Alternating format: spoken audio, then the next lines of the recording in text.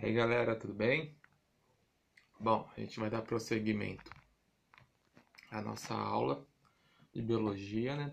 E hoje a gente vai falar sobre ácidos nucleicos. É basicamente o último tópico aí de, dessa parte mais química do, da biologia. Apesar de tudo na biologia é, também tem química. Mas essa parte de, de química da vida, essas questões de moléculas, macromoléculas, é, é, é, é praticamente o, o, último tópico desse, desse conteúdo. A partir das próximas aulas a gente vai entrar de fato em, em teoria celular. Então falar de fato que são as células, diferenciá-las, é, falar sobre organelas, etc. Então esse daí é o, o último tópico desse conteúdo, tudo bem? Bom, é, e como vocês estão vendo, hoje a aula, a, hoje a aula é sobre ácidos nucleicos. O que, que são os ácidos nucleicos? É, eles são também macromoléculas. Deixa eu até mudar aqui. Eles são macromoléculas também. É, e como todos os macromoléculas, eles são é, polímeros. Então lembra? Um polímero, lembrando sempre, é sempre ah, constituído por vários monômeros. Então, você tinha, por exemplo, a proteína. Então, a proteína é um, era um polio é, peptídeo.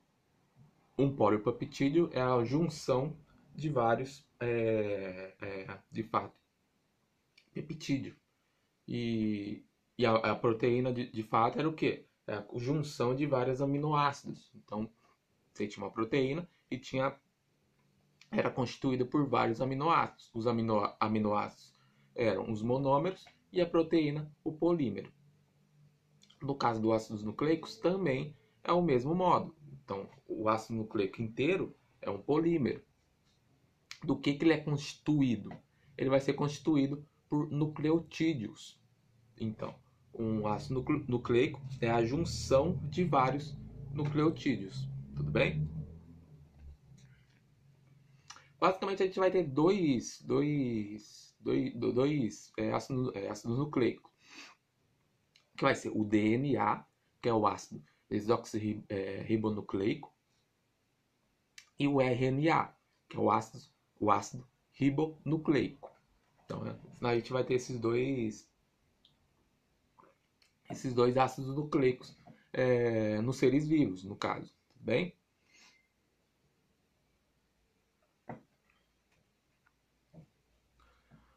Bom, então se um ácido nucleico ele é a, a constituição polímero constituído por nucleotídeos, é, o que, é um nucleotídeo? O nucleotídeo é essa estrutura que a gente está vendo. Então, ele vai ser constituído por um grupo fosfato. Então, um grupo fosfato, ele vai ter o quê? Como o próprio nome diz, um fosfato. Então, vai ter um fósforo na, na cadeia dele. É, também vai ser constituído por uma pentose. Uma pentose é um açúcar lá dos carboidratos, lembram? É, então é um açúcar que vai ter, é, vai ser um carbono, constituído por um carbono, com cinco, é, cinco carbonos, no caso. Por isso que é, um, é um, uma pente. Então, pente de, de penta. Então, é, são cinco carbonos. Tudo bem? E por último, a base nitrogenada. É, que como no, o próprio nome diz, ele leva esse nome base nitrogenada, porque na constituição dele vai ter nitrogênio. Então, um nucleotídeo vai ser a junção desses três, desses três grupos. Um grupo fosfato, um grupo pentose e uma base nitrogenada. Tudo bem?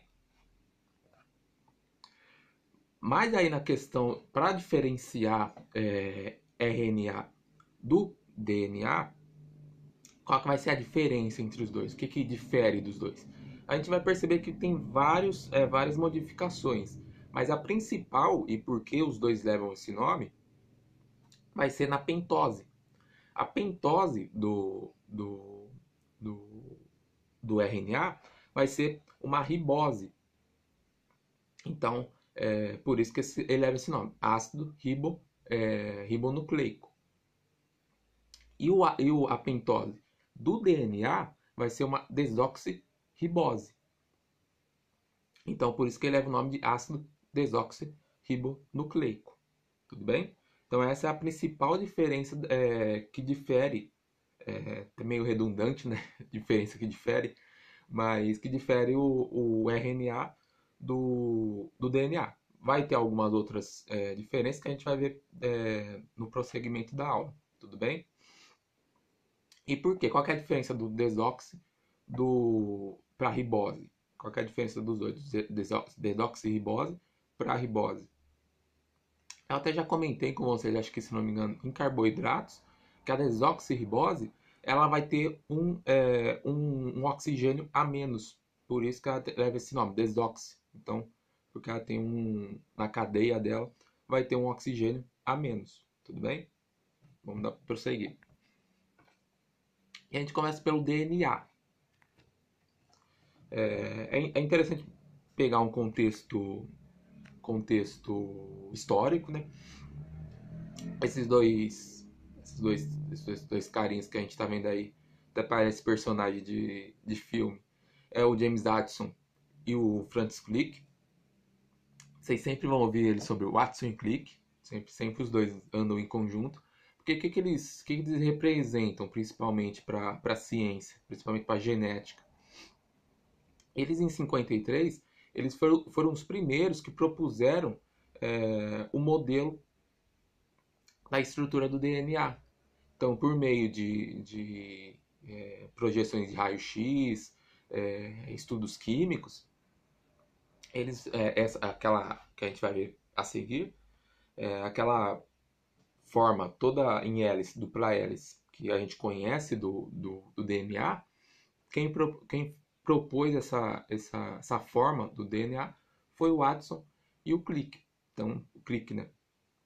Eles são considerados aí os dois primeiros que, que tiveram essa é, propuseram essa estrutura e que até hoje ela é, é aceita do DNA, no caso. E essa é a estrutura do, do DNA. Então, é, no lado esquerdo, esquerdo ali, é, o mais conhecido, né? Então essa dupla hélice, todo mundo já viu, acho provavelmente, a, essa, esse desenho do, do, do, DNA, se não for esse desenho é muito parecido, essa, esse formato helicoidal em duas hélices. E no lado direito, podemos dizer que é ele dissecado, que é ele todas as estruturas ali. Então, vamos lá que eu quero mostrar para vocês nesse, nesse desenho. A gente vai ter o grupo fosfato. O grupo fosfato é, ele é representado por essa bolinha amarela. Então, o grupo tem o fósforo no central ali no, na molécula. Ele vai ser ligado é, ao açúcar, a pentose, no caso. Então, no caso do DNA, uma desoxirribose. E essa desoxirribose vai ser ligada na base nitrogenada. Então, vocês estão vendo, ó, é uma cadeia todos são ligados. Um DNA vai ter centenas de, de nucleotídeos. Centenas de milhares de nucleotídeos, um ligado ao outro. Então a gente pode ver no desenho ali, ó. Você tem um, uma, um, um fósforo ligado a uma base ligada à, à base nitrogenada, ao, ao, ao açúcar. Acima ele está ligado a uma outra, uma outro, uma outro grupo fosfato e assim por diante. Tudo bem? É interessante mostrar também que as duas, as duas fitas, elas também estão ligadas umas à outra. Por meio do quê? Por meio das bases nitrogenadas. Então vocês podem ver o coloridinho ali, ó. Por exemplo, primeiro, o vermelhinho com o laranjado. São duas bases nitrogenadas. E eles são interligados por pontes de, de hidrogênio. Lembra que a gente já comentou sobre as pontes de hidrogênio? Então, no DNA, quem liga essas bases nitrogenadas é as pontes de hidrogênio. Ok? É, é interessante falar também, interessante falar, interessante não, o principal falar, que a gente vai ter quatro tipos de bases nitrogenadas do DNA. Quais são elas? Adenina, citosina, guanina e timina. Então, por isso que vocês estão vendo ali nas bases nitrogenadas, ó, A, T, C, G, A, T. O que, que representa essas letras? É, o, é a base nitrogenada é, que ela está mostrando. Então, por exemplo, o T é uma timina, o A é uma, é uma adenina, o G, uma guanina, e o C, a citosina. Tudo bem? É interessante falar também que sempre as bases nitrogenadas vão ser sempre ligadas nas mesmas. Qual que é a regra principal da ligação de bases nitrogenadas? A com, com A com T. Então, uma adenina sempre vai se ligar com uma timina. Sempre. Sempre. Lógico, só em questões de mutações, mas aí, né, a gente vai falar em genética. Mutações é outro assunto. A gente fala em, em, em genética sobre, sobre mutações. Mas a regra principal é adenina, o A se liga com T. Então a adenina se liga com timina. E a, o C, a citosina, se liga com o G, com a guanina. Sempre. Isso é a regra básica das bases nitrogenadas. Tudo bem? Vou até mostrar aqui para vocês. Então, adenina e timina é, e guanina, citosina. Sempre nessa ordem, sempre nessa ligação. Nunca você vai encontrar repetindo, tirando em, em mutações, que aí é outro assunto que a gente vai falar só em genética. Mas o padrão é o que? A com T, C com G, é, G com C. Tudo bem? Ah, é muito difícil, não sei o que, não vou conseguir, não conseguir lembrar, etc. É, eu tenho um truque para vocês conseguir é, lembrar qual se liga com qual. Tudo bem? Vamos lá. Vocês já conhecem esse, esse cantor? Esse cantor é o Agnaldo Timóteo, para quem não sabe. É um cantor um pouquinho antigo. É o Agnaldo Timóteo. Então, sempre que vocês forem falar de adenina e timina, lembram dele. Por quê? Deixa eu tirar aqui.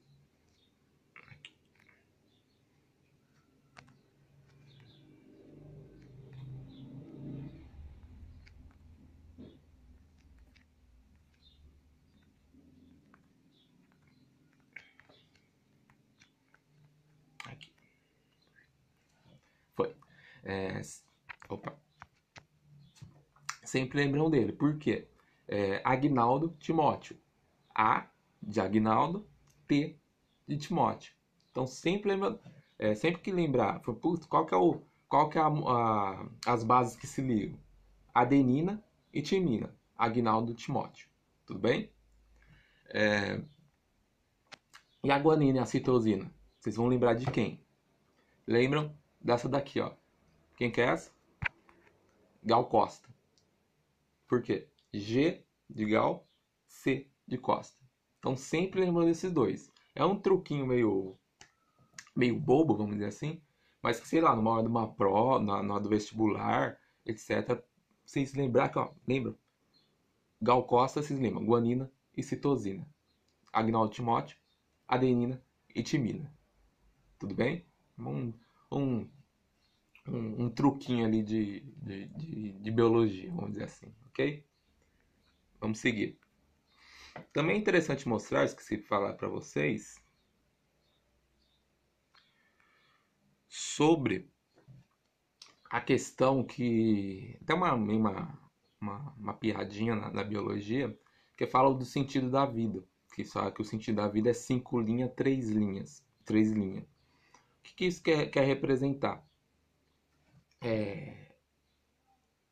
O 5 linha 3 linha, eu vou falar mais adiante para vocês, mas essa imagem é muito boa vocês observarem, que é onde está ligada o, as duas pentoses. Então uma pentose, ela é ligada ali, ó, no, deixa eu aproximar aqui.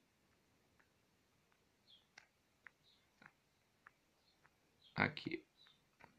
Uma pentose é ligada no, no, no açúcar desculpa, uma, um grupo fosfato é ligado no açúcar, no terceiro carbono, que é uma hidroxila. Então esse primeiro aqui, ó, esse de baixo, ele está ligado no três linha. Vocês estão observando? O é, que, que é esse três linhas? É uma, hidro, uma, uma hidroxila é, e que é ligado no terceiro carbono do, da pentose. Já no, no, no carbono, no primeiro, no, primeiro, no primeiro grupo fosfato, vocês estão vendo que ele está ligado no, no 5' linha. Por quê? Porque, é, é, de fato, ele, ele se liga no quinto carbono. Tudo bem? Então, essa vai ser a diferença ali do, da, dessa questão de. Tem uma, uma piadinha meio biológica que fala que o sentido da vida é 5 linha, 3 linha, por causa disso.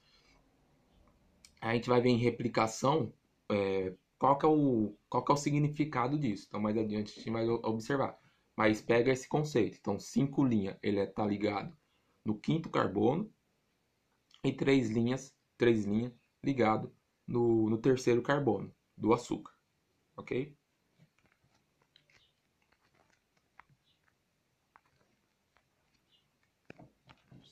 Já viu. Ó, pega esse, esse, esse, esse truquinho aqui, ó, aqui ficou ok. Bom, a localização do, é, nas células, principalmente, do, do, do DNA principal lugar que a gente vai encontrar o DNA na, nas células vai ser aonde? Células eucariontes, deixar claro isso. Vai ser no núcleo. Então, a gente vai ter uma célula e, e nessa célula, na célula eucarionte, é, é, a gente vai ver mais adiante, é, semana que vem, na verdade, essa diferenciação. Então, a gente vai ter o que? No núcleo celular vai ser onde vai estar os, os DNAs. Então, é a principal localização dela. A gente vai ter outros dois lugares que eles são encontrados, que vai ser na mitocôndria. A mitocôndria é uma organela é, celular, então uma organela principalmente de energia, então ela que é responsável pela energia do, do ser vivo. E também do cloroplasto, a gente também encontra DNA no cloroplasto. O que é o cloroplasto?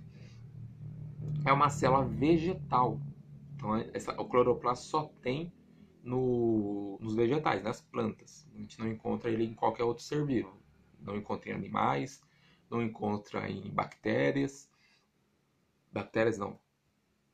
Não encontra em. em, em é, bactérias, é, também não encontra bactérias. Então, não encontra bactérias, não encontra animais. Só vai encontrar ela nos vegetais, nos, nas plantas. Tudo bem? Mas também se tem DNA no, no cloroplasto ok? Então, são esses três lugares em células eucariontes, deixar claro isso, é, que são encontrados, ok? E o papel do DNA? Então, o DNA ele vai ter um papel principalmente hereditário nos seres vivos. O que é algo hereditário? É um material que vai passar de geração para gera geração.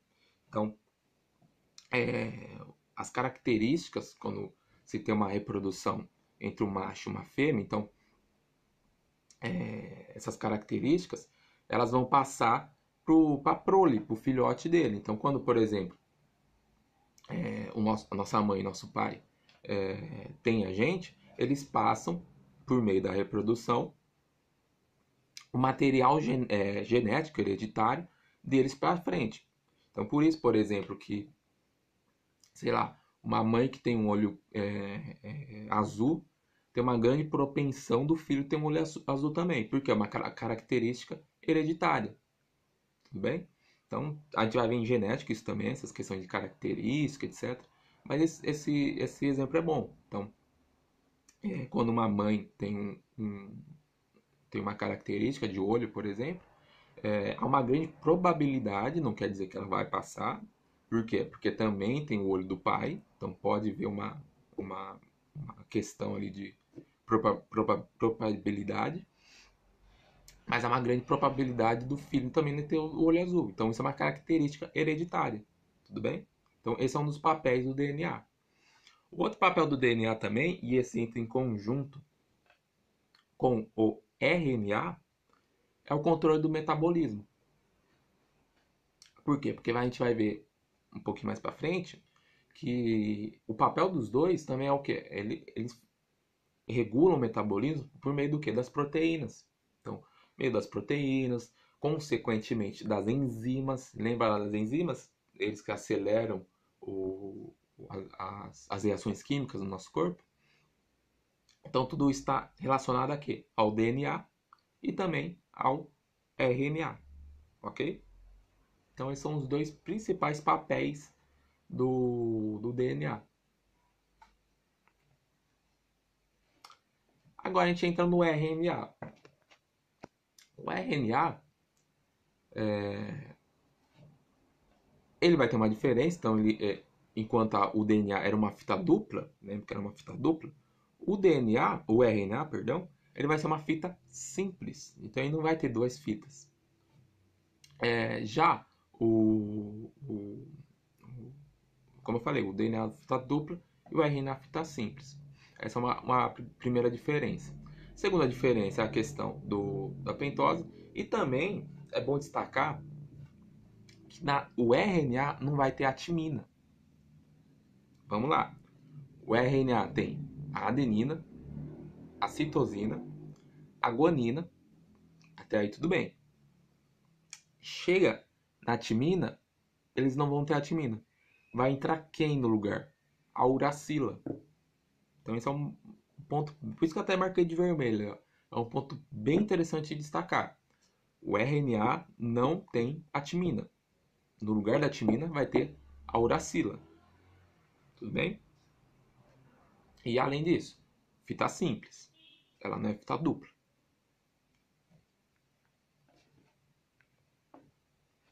Bom, a gente vai ter, a gente vai ter algumas diferenças de, de RNA A gente vai ter alguns, alguns diferentes tipos de RNA no, no, no ser vivo. Que vai ser o RNA mensageiro, o RNA, o RNA transportador e o RNA ribossômico.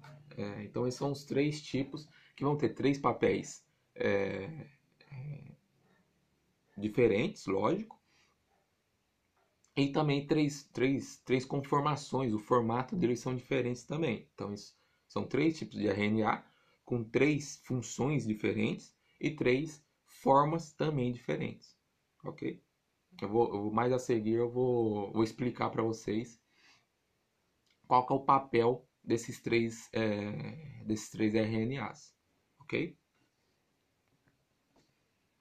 E aqui está uma tabelinha que é muito interessante é, para essa diferenciação entre RNA e DNA.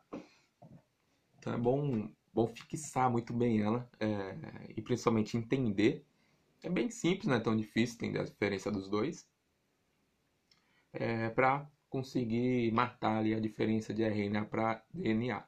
Então lá, ó, pentose. O que, que eu falei? Então a pentose, que é o açúcar, o DNA tem a desoxirribose, e o RNA tem a ribose, ok?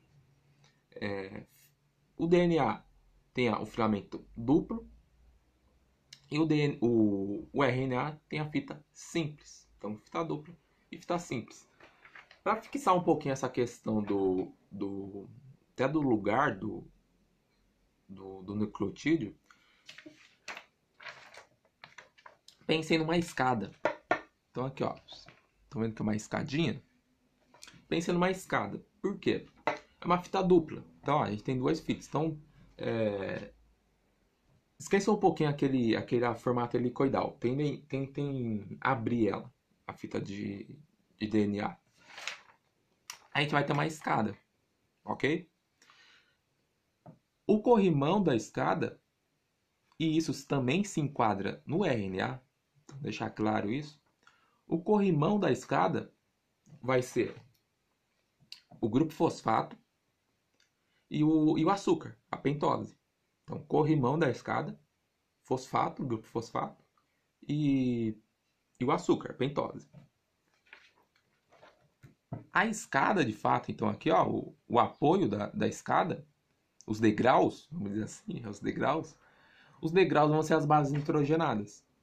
Então aqui a gente vai ter o, o adenina, citosina, a guanina e etc.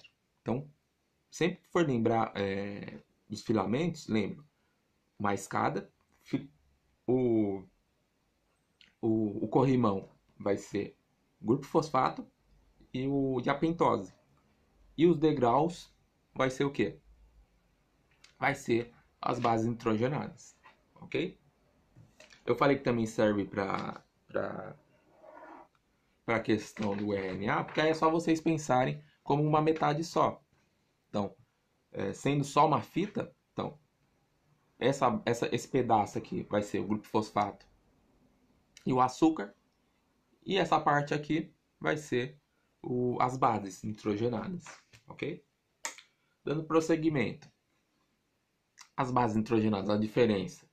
Os dois têm adenina, citosina e guanina. A diferença é que o DNA tem timina e o, o RNA uracilo.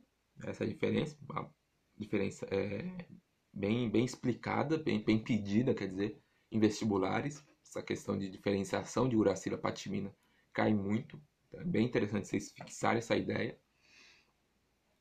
E a forma, é, o DNA principalmente hélice, então vai ser esse formato de hélice dela, helicoidal.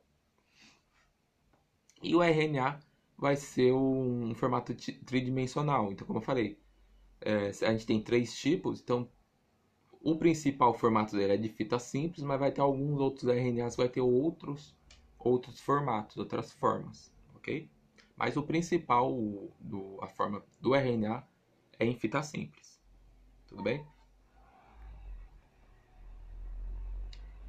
Esse ponto também é muito interessante. Uma outra, uma outra diferenciação também, que são as purinas. Então, nas questões das bases nitrogenadas, é, as purinas e as pirimidinas. As purinas são adeninas e as guaninas. E as pirimidinas são citosina, timina e uracila. Essas são a diferenciação. Qual é a diferença de fato entre purinas e pirimidinas? A purina ela vai ter dois anéis de carbonos. Então vocês podem ver as duas, as duas é, purinas, adenina e guanina, vai ter dois anéis, anéis de anéis químicos, anéis de carbono. Enquanto a pirimidina vai ter apenas um, um anel simples. Então, citosina, timina e uracila, um anel, um anel simples no caso, ok? Então essa vai ser a diferença purina e, e pirimidina. Também vocês devem estar olhando que sempre, então, olhando as duas, sempre uma purina se liga a uma pirimidina. Tá vendo? Então, porque, ó, sempre o A vai se ligar é, ao T e sempre o G vai se ligar ao C. Que é aquela questão lá, lembra lá? Guinaldo Timóteo, Gal Costa. Então sempre vai ser ligado a, a esse. É, e a uracila, no, no caso do RNA, vai ser o A que vai se ligar ao U. Então, sempre uma purina se liga à pirimidina. Tudo bem? E aí a gente entra na, na última parte do, do, dessa questão de ácidos nucleicos, que é a expressão gênica, que é o trabalho que o DNA e o RNA fazem.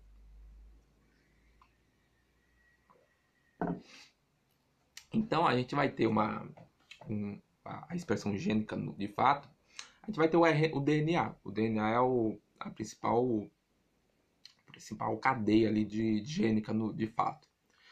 O DNA ele vai fazer duplicação. O que é a duplicação? Então ele vai fazer é, vai fazer um parzinho igual a ele. Ele vai duplicar. Então, quando você duplica algo, você está fazendo algo é, igual ao, a você também pode ser chamado de replicação. Então pode ser tanto duplicação ou replicação. Então é o DNA que ele vai fazer uma outra dupla fita de DNA. Isso é uma duplicação. E a transcrição. A transcrição é o, o, o, o a partir de uma, numa fita de, de DNA é construído uma fita de RNA. Esse RNA, por meio de uma tradução, ele vai é, formar a proteína. Tudo bem? Esse, é, o, o, a parte de cima é o principal. Então, precisa deixar bem claro. Então, a gente tem uma cadeia de DNA. Por meio de uma transcrição vai ser feito um RNA. E por meio de uma tradução, esse RNA vai fazer uma, uma proteína. Tudo bem? Eu vou explicar tudo agora para vocês. É, mais, mais detalhado. Então, na replicação ou duplicação, como eu falei, a gente vai ter uma, uma, uma cadeia de, do DNA de fato. Então vocês estão vendo a dupla fita ali, ó. Deixa eu... Vocês estão vendo a dupla fita aqui, ó. Isso é uma dupla fita de DNA. O que vai acontecer? Essa dupla fita ela vai se abrir. Então não tem, não tem nada aqui. Ela vai se abrir. Então tem uma dupla fita ali, ó. Ela vai, vai se abrir. Uma, prote, uma proteína vai quebrar a, as ligações, a, a, as pontes de hidrogênio, as ligações de hidrogênio da, da, do DNA. Então tá aqui, ó, tá grudadinho. Aí vai quebrar ali, ó, como tá no desenho. O que, que vai acontecer na replicação? É, por meio de uma, de uma outra proteína chamada DNA polimerase, o que, que vai acontecer? É, vai, ser começar, é, vai começar a se colocar outras bases nitrogenadas. Então vocês estão vendo ali, ó, a, a fita original é o A. Então vai ser colocada uma base nitrogenada que é o T. Lembra? Agnaldo Timóteo. A com T. É, então vai ser colocada uma base nitrogenada T. E assim consequentemente. Então, AT, AT, é, TA, AT e assim até, até, até o final dela. Então até se formar uma outra fita. Então você vai ter uma fita original é, por meio de uma proteína chamada proteína polimerase, vai ser com, começar a colocar inserindo outras bases nitrogenadas na fita original. É, a fita, é, e assim formando uma nova fita, uma nova dupla fita de DNA.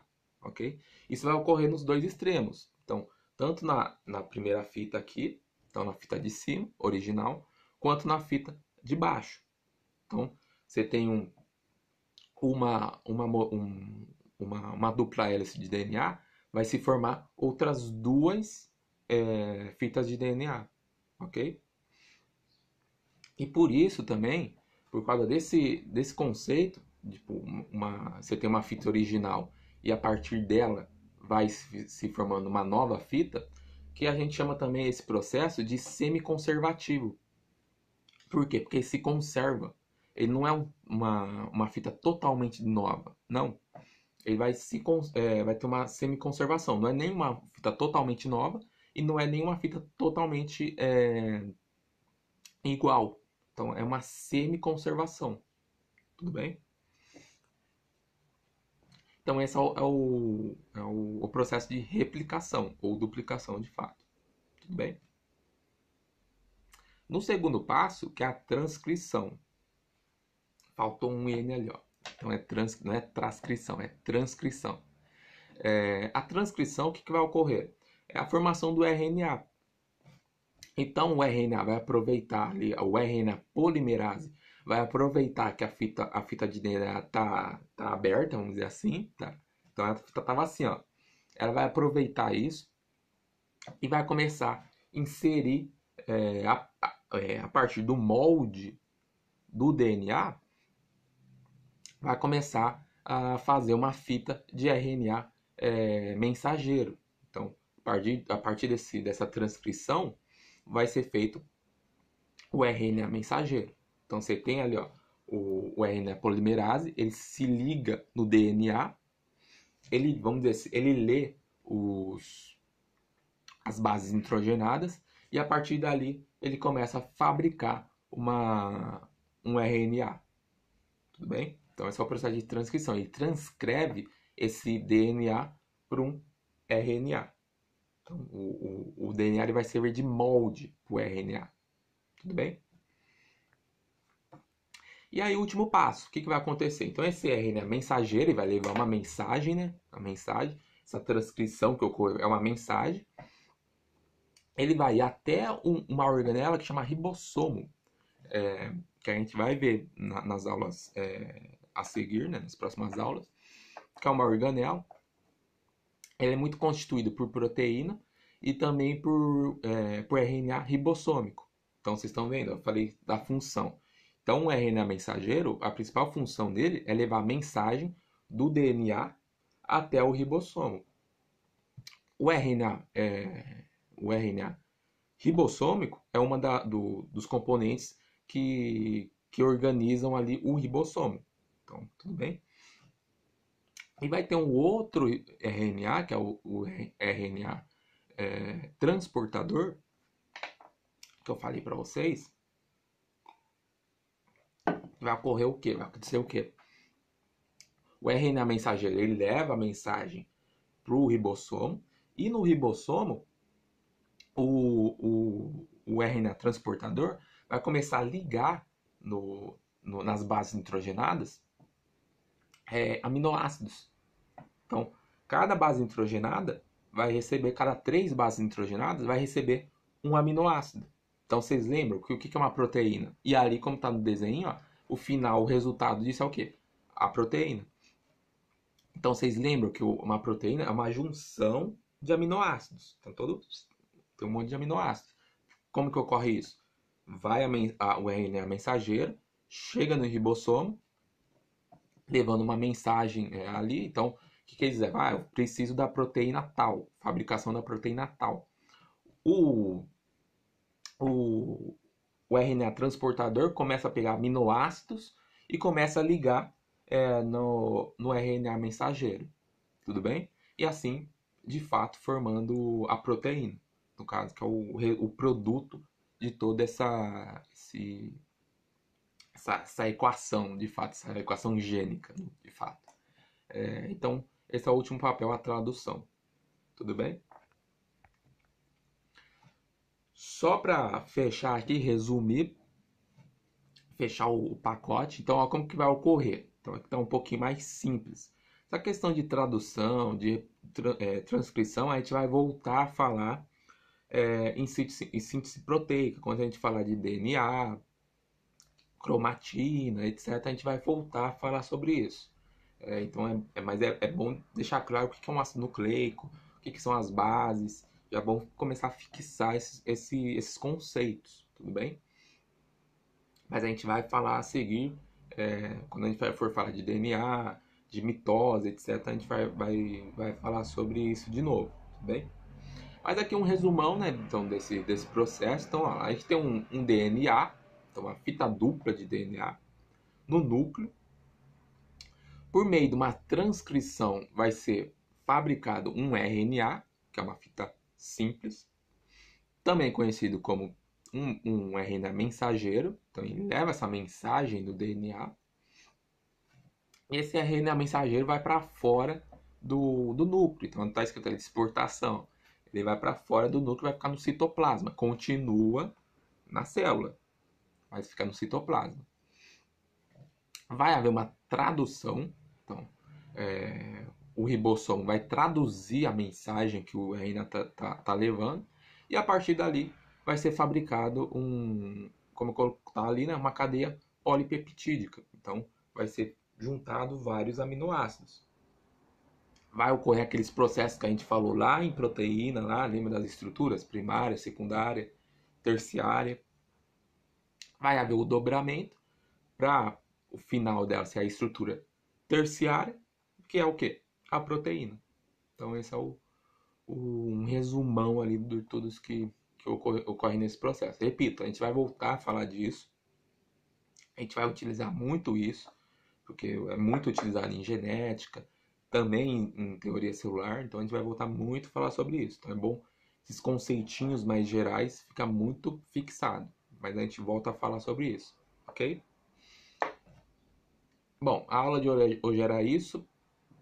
É, qual, qualquer dúvida, é, qualquer pergunta, se qualquer vocês tiverem, vocês podem perguntar para mim no, no Face, etc. Podem, podem me chamar lá. E é isso. Abraço valeu.